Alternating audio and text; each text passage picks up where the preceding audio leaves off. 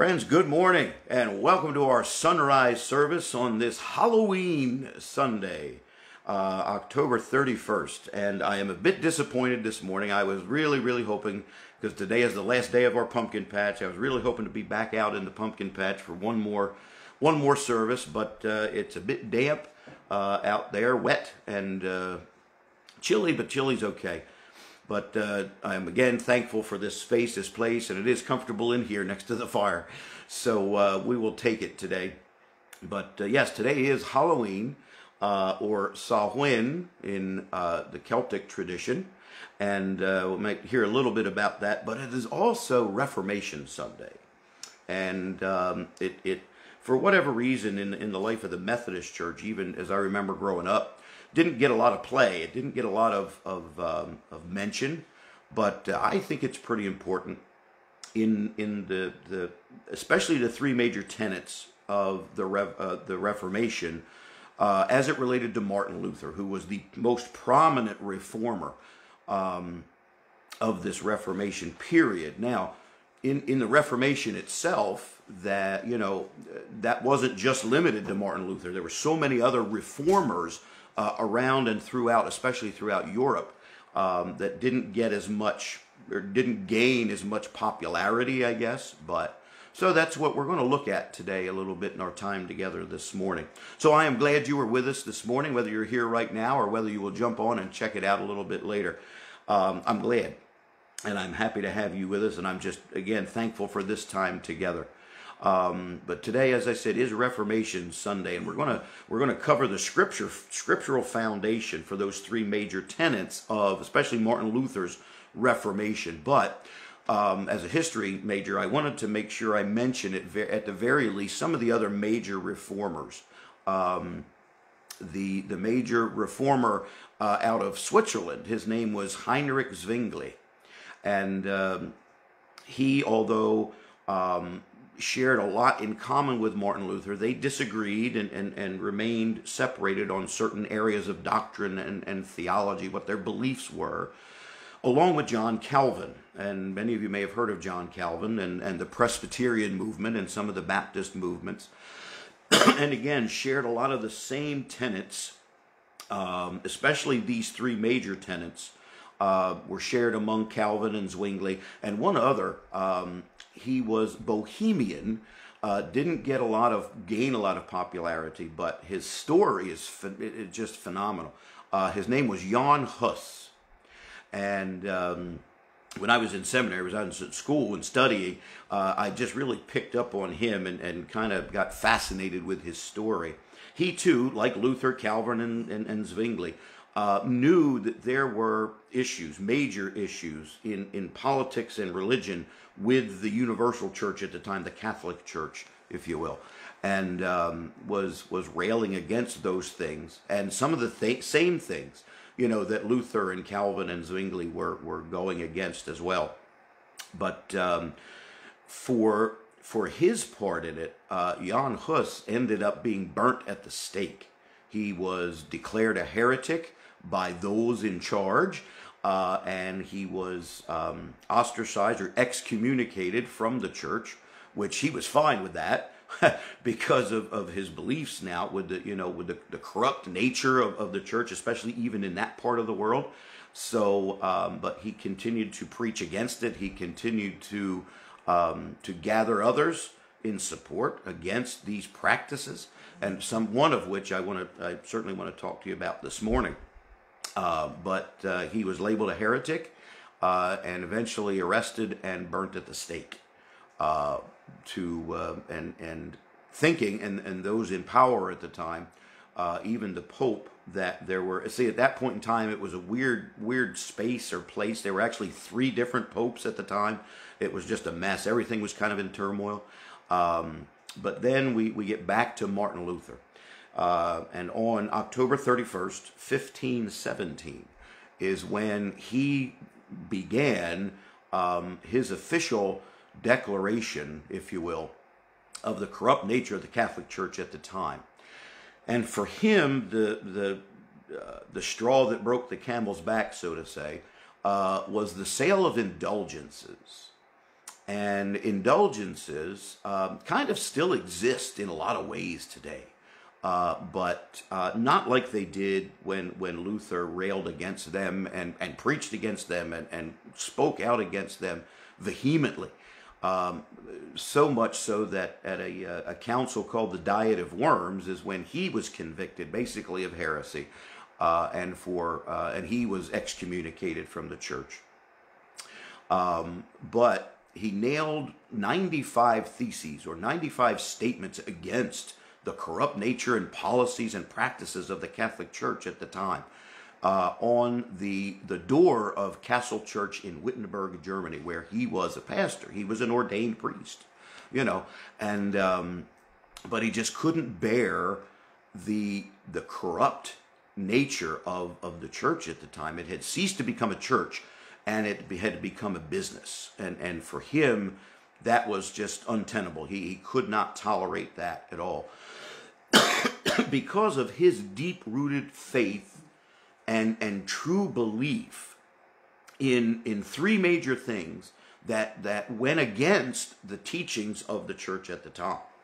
So even though he was an ordained priest, um, he, he, didn't hold to many of the practices, and, and, and, and once he was taught them, once they were in practice and he had learned them, and, and then studying and reading the Bible, which one of the practices of the church at the time was that uh, the, the lay people were shouldn't have access to it only through the priests. Uh, they should be, you know, fed the scripture, given the scriptures, and have it explained to them. Uh, they should not, and they were discouraged from ever reading it on their own. So, and Martin Luther said that's just wrong. That is not the way it was intended. So, uh, he, he nailed these 95 statements to the door of Castle Church in Wittenberg. And that literally began the, the major uh, Reformation, if you will, and the split uh, from the Catholic Church by so many different sects at the time. Um, that became different denominations, all within the Protestant banner or under the Protestant umbrella. And that's how it was labeled. It was a Protestant movement, it was a protest against the practices of the Catholic Church at the time. Uh, and these were launched by, by, by folk like Zwingli and Calvin and Huss and certainly Martin Luther.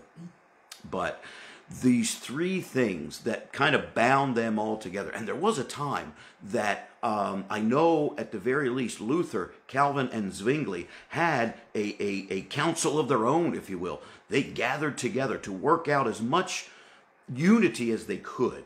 Uh, and they were fairly successful. Um, however, it, it was not a total success, and there was not total unity between those three at all. on some fairly major doctrinal and theological issues. And, and hence, we have now the, the, the Lutheran Church, we have the Presbyterian Church, the Baptist Church, um, and the Reformed Church. So, all, all because of um, the, the, the nature of their, their agreement and disagreement. Uh, now, we, those of us that are United Methodists, um, are, are not that is not directly our spiritual heritage. our direct lineage, our spiritual lineage, if you will, is, is linked to the Anglican Church or the Church of England, uh, which is another Protestant denomination um, that split from the Catholic Church, but for very different reasons. Uh, it was the, the Anglican Church or the Church of England was created by King Henry VIII uh, because simply because, or pretty much because, the, the Pope at the time, one of the popes, would not annul his marriage. so he said, fine, I'm not going to be a part of this anymore. I'm going to start my own church. Uh, and he became literally became the head of the, the Church of England. Uh, and that is where that's where our spiritual heritage uh, is linked to. However, we hold these tenets with Martin Luther certainly. And the tenets, the three major tenets, as in, in Luther's language, sola scriptura, sola fide, and the priesthood of all believers. Sola scriptura simply means the word of God is everything and anything that we ever will need for our our spiritual journey. And because of Martin Luther's belief in the priesthood of all believers that we'll, we'll talk about in a minute, that everyone, every believer needs to have, not should, but needs to have access to the Word of God in their own language. That was his big thing. So it was also with John Wesley, um, the founder of Methodism, that even in the Anglican services, you know, um, as well as the Catholic masses, they were all done in Latin. And the, the, the laity, the general population, didn't really know, read, or speak Latin. Um, they spoke their own language. They spoke German. They spoke, uh, you know, uh, all these other languages around the world. But all the masses were done in, in Latin. And, and that was done in, in a lot of ways to keep folk from understanding or having their own understanding of Scripture and its meaning for them. So Scripture's meaning for anyone and everyone was given to them uh, by the priests. And Luther said that's just wrong. So his belief in that sola scriptura, or, or by the book alone, um, there is one book for all of us. And there is one faith for all of us. Uh, and we get that in that sola fide, one faith. Um, and it is by faith we are saved, not by works, not by anything that we've done. And then Luther believed in the priesthood of all believers, that there was no need for an intermediary between God and the people. So, and I want to share the backing for that. Um, when it comes to the word and the word for everyone, um, you know, we go to Second Timothy. This is the Apostles Paul uh, the Apostle Paul's final charge to his, his protege, his pastor in training, if you will, Timothy. And he says this in um, 2 Timothy 3, verse 14. But as for you, continue in what you have learned and have become convinced of, because you know those from whom you learned it, and how from infancy you have known the Holy Scriptures, which are able to make you wise for salvation through faith in Christ Jesus. All scripture is God breathed and is useful for teaching, rebuking, correcting, and training in righteousness, so that those of God may be thoroughly equipped for every good work. Um, and that was that was Luther's foundation. You know, he said that, that this practice of keeping people out of the book is just wrong. That is not what God intended. Not what Jesus taught. Um, this was a, a, a man-made thing, if you will, uh, that masses are done. The, the only word they get is in Latin.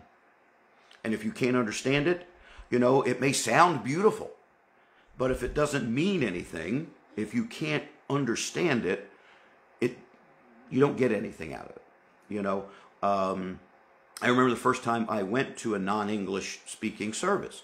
It was a beautiful service. The language was lovely. The songs were beautiful. I knew the tunes, uh, but I didn't understand. I didn't know the language. So it wasn't as meaningful to me. It was beautiful, uh, but it wasn't as meaningful. and unless and until we have that relationship with the Word of God, which is what Luther, you know, contended, that people need access to it, and just as Timothy did, uh, and Paul knew that, understood that, Jesus knew that and understood that. Um, so that was Luther's big thing, you know, and in the printing of, of scripture, not in Latin. Uh, you know, the Gutenberg uh, press in uh, what 1500 was the first Bible printed in, or the first set of scriptures printed in English, or you know, or it, not in English, but well, in English eventually, but in German. Anything not in Latin. So um, the the that notion that we need to be have access to the scripture.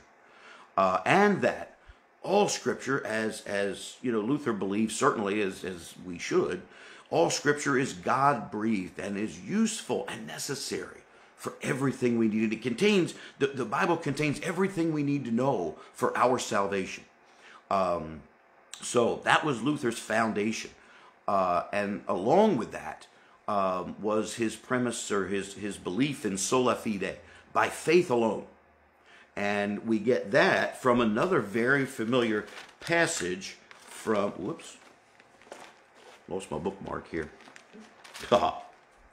a very familiar passage from Ephesians, Ephesians chapter 2, verses 8 and 9. And here's what that says For it is by grace you have been saved through faith. And this is not from yourselves, it is the gift of God, not by works, so that no one can boast. For we are God's workmanship, created in Christ Jesus to do good works, which God prepared in advance for us to do. Um, friends, in other words, what this simply says is that um, we are saved by faith through uh, we are saved by grace through faith alone. Um, that there is no amount of work we can do to wash away our sins. There's no amount of work we can do to buy our way or work our way into heaven. That was done for us by the work of Christ on the cross. And that is it. there is nothing other than that. Uh, we were created to do good works, as we talked about a few weeks ago when we were in the book of James. Uh, which is why, again, you know, as a side note, Martin Luther uh, called James a straw gospel or a straw book. He didn't like it because of its his seeming emphasis on on good works uh, and and the, the confusion created around that, thinking that you could do good works and get into heaven. Um, but that was not the case. Luther knew that, and we know that. We understand that. And that is what Paul understood as well. Uh, and he brings that out to the church in Ephesus when he says, It is by grace we are saved through our faith when we make that declaration of Christ as our Lord and Savior, when we acknowledge Jesus to be the one and only Son of God, uh, it is in, in that moment, you know, that we are saved by grace. Um, and, and as I read this again, even yesterday and last night, um, I, I, I, get to singing in my head um, that song by uh, the, um, uh, the Gaithers and it's simply called "Sinner Saved by Grace. Um, and that's who we are. That's what we are. And in that is what Luther was saying that it is by faith we are saved. That's where the indulgences come in. Uh, and that was Luther's just vehement anger over this practice. And indulgence was the, the, the put simply, was that you could go to a priest or a bishop or an archbishop or even all the way to the pope, depending on who you were, how much money you had, what kind of influence you had. and you could buy uh, this indulgence. And in turn, you would receive either for yourself, a family member, or even an ancestor that they or you would then receive less punishment before you could get to heaven. You would have your sins washed away by buying this paper. And the people were, were, were taught that, that this indulgence, because of the power of the priesthood, um, that they controlled your access to God. They controlled your access to heaven. Uh, and that deals with the doctrine of, of purgatory. and if you're not familiar, purgatory was basically a holding pen where you, you, you didn't go, when you died, you didn't go right to heaven or you didn't go right to hell.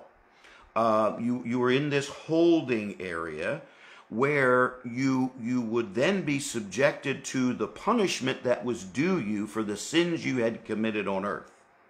And, and when you had completed that time of punishment, then, if judged, you could go to heaven.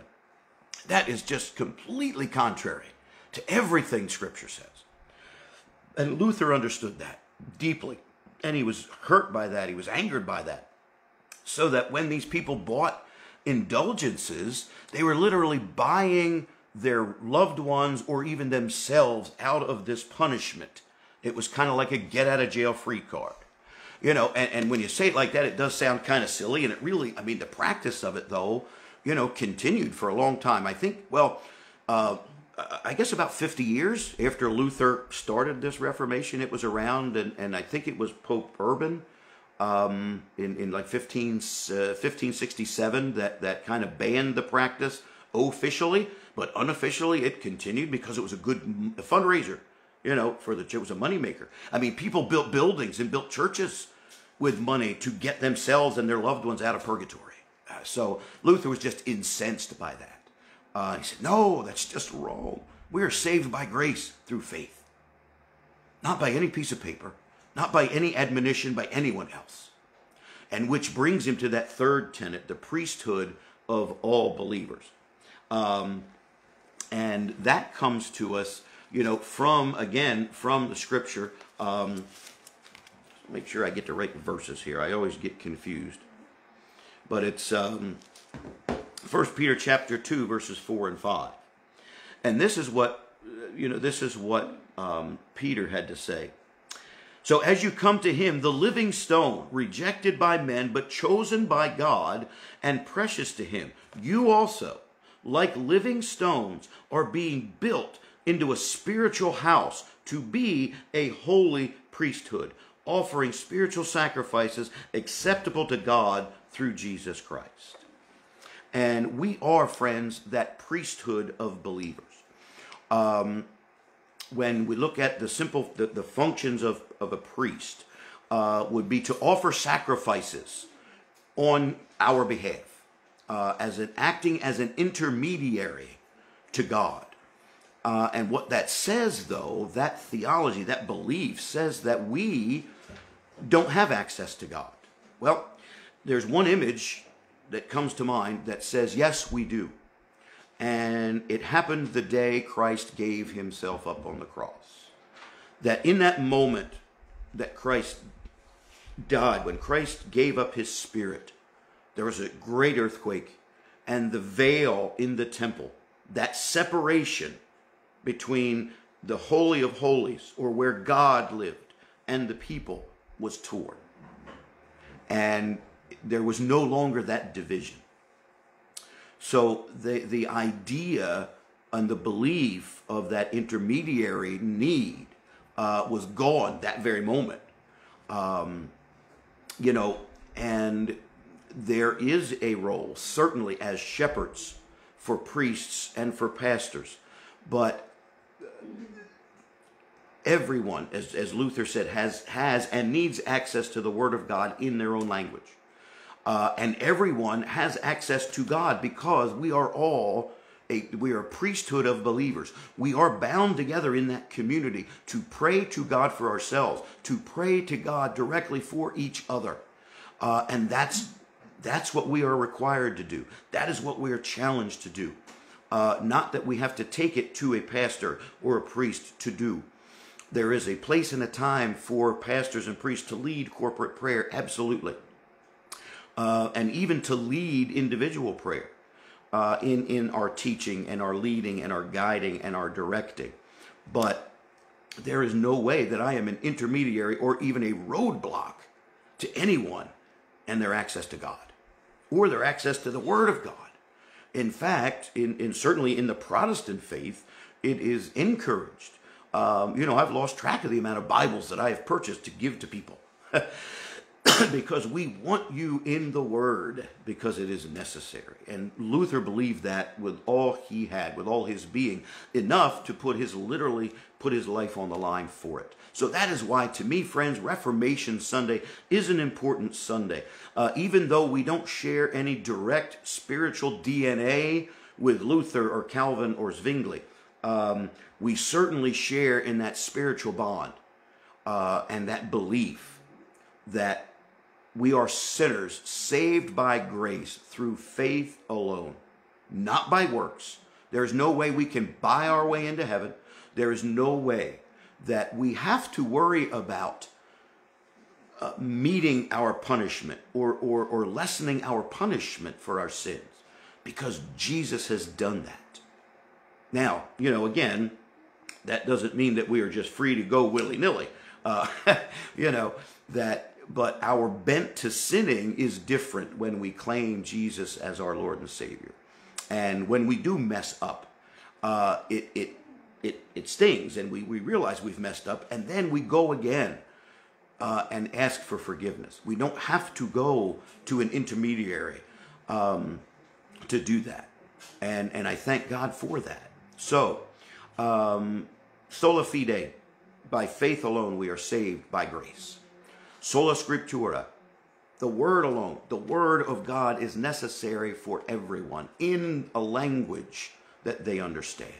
And finally, friends, that priesthood of all believers, that we are bound together as a spiritual house, a spiritual community, constantly building each other up, learning from each other, teaching each other, loving each other. And it's in that love that we honor the greatest command that Jesus gave love one another as I have loved you. And by that love, all will know you are my disciples.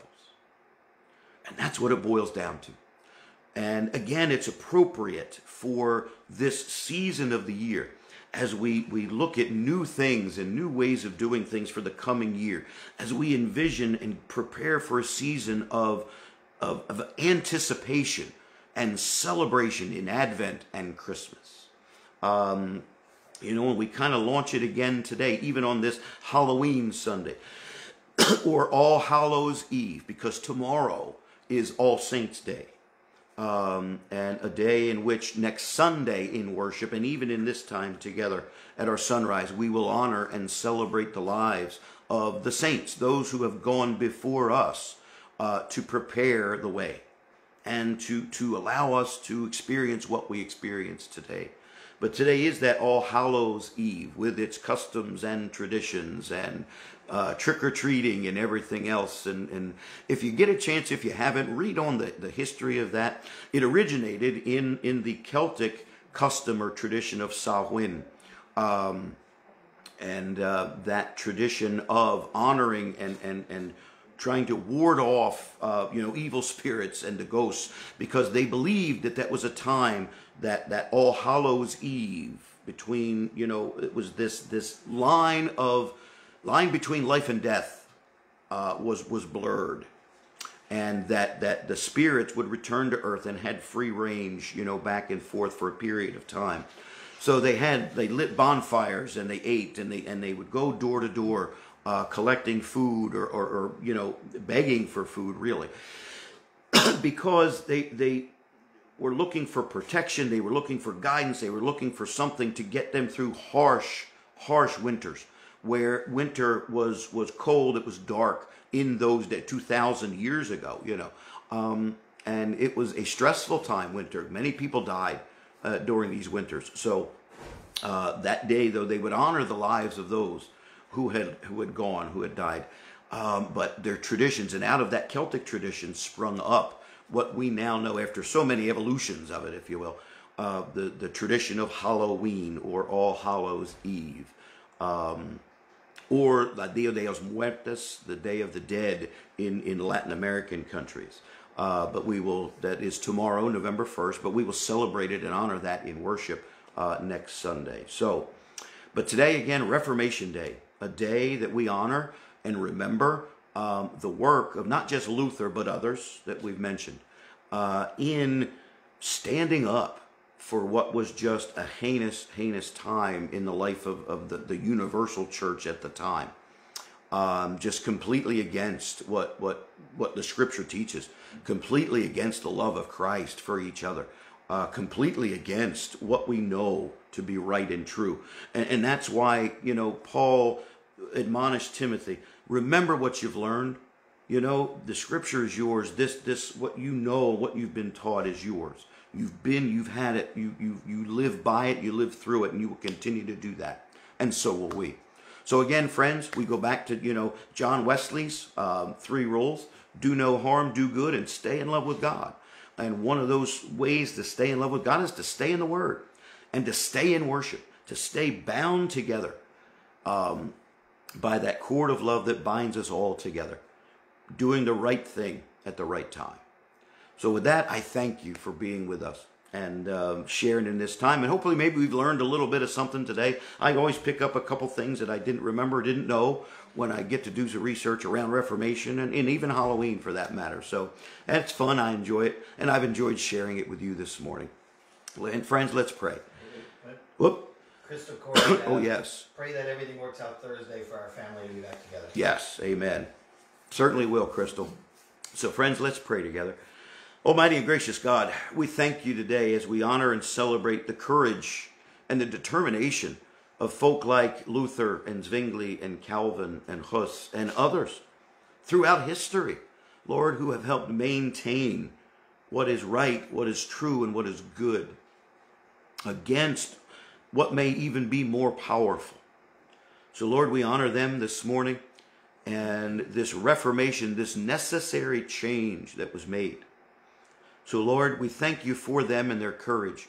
Help us, Lord, to honor them as we continue to have the courage to speak out against the things that we know are wrong, to lift others up when they are being oppressed, when we see and, and when we experience times of injustice and oppression, whatever they may be and wherever they may be. So, Lord, help us to always love each other the way you have loved us. So, for that courage, for that strength, for that engagement, we thank you for every opportunity that you give us to do right, to do good, to do what is true. So, Lord, keep us in your word, keep us in worship, keep us bound together and strengthened by and through one another in all that we do. And Lord, it's in that strength and love that we lift up Crystal today, especially, Lord, as she awaits a determination on Thursday that. Um, Lord, we just pray for her and the family for that reunification, for healing to take place where it is necessary, both physically, emotionally, and spiritually, Lord. So we just ask your blessing on, on Crystal and the family today, uh, especially. And for all those, Lord, who are struggling this day. We pray for all those, Lord, who have entered into a season of grief in this time. Lord, be with them. Let your presence go through this journey with them. Let them feel it and experience your spirit through the love and ministry of others around them. And Lord, it is in that love that we lift all these things to you. In your precious and powerful name we pray. Amen. Ah, friends, well, thank you again. And as the day and the weather improves, um, wherever your day takes you. And today, if you're not doing anything, uh, the pumpkin patch is in its last day of sales. From 2 to 5, we will have our trunk or treat come on out and, and uh, if nothing else, to see how crazy PK gets today. So, uh, hope to maybe see you this afternoon. But until then, wherever the journey takes you, if you still need to, wear a mask. Even get your booster. And I almost did it today. He got me today a little bit, but uh, I have uh, I have a di- di- distraction uh, that tries every week. It hasn't got me yet. He almost did today. But until then, friends, be safe and wash your hands. God bless.